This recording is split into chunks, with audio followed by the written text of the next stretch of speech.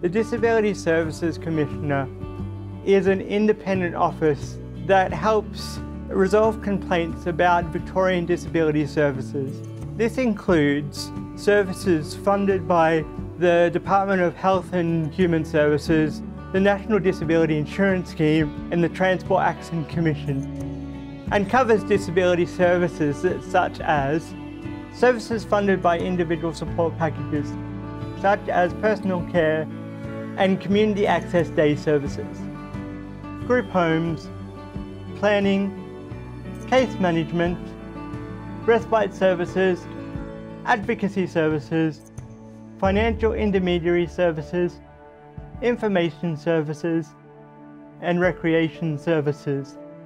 These are only some of the services that we can take complaints about. Sometimes services don't deliver what they promise, and you may want to complain about the way you've been treated or the service you've received. I was having trouble with my service provider and shifts were cancelled on me. Whenever I tried to challenge them and ask them, ask my provider why, they would they would say that I was a difficult client.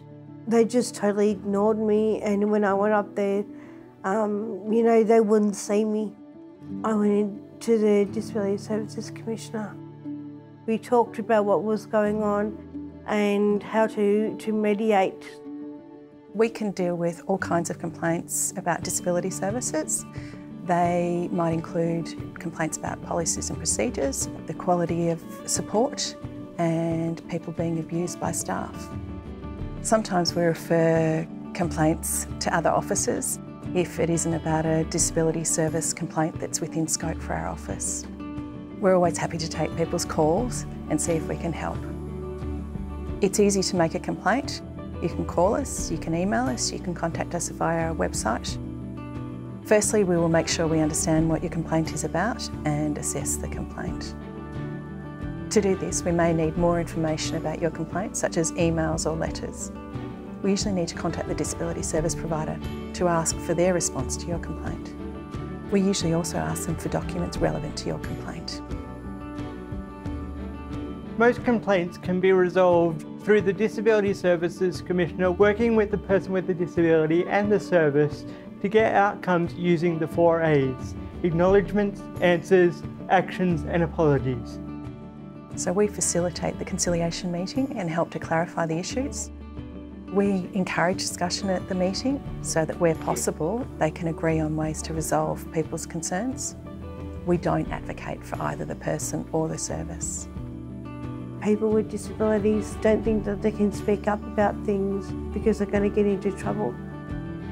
Since speaking to the Commissioner, I've realised that no, that's not the case and it's okay to, to speak up about things. I would strongly encourage you to talk to the Commissioner if you need support and they're really, really friendly and they can help you. The Disability Services Commissioner has the power to investigate certain complaints. The Commissioner can compel service providers to provide information and meet with staff. This provides access to valuable information and first-hand accounts of issues relevant to the complaint.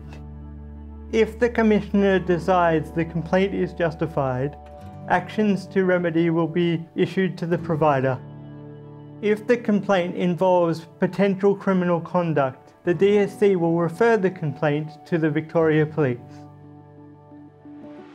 People sometimes feel afraid to complain. Some people decide to make an anonymous complaint. The important thing is to speak up. Making a complaint can improve disability services, not just for you, but for others as well. If you decide to speak up, the Disability Services Commissioner can make sure your concerns are heard and acted upon. Give them a try, it might just make the difference that you're looking for.